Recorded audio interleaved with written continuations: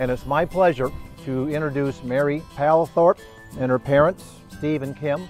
Mary was recommended by the counseling department at Sparta High School for the scholarship. So I've been saving up for college, but this will definitely, I mean, play a very big role in helping me do that. She plans to attend Grand Rapids Community College, I hear that they have really great programs.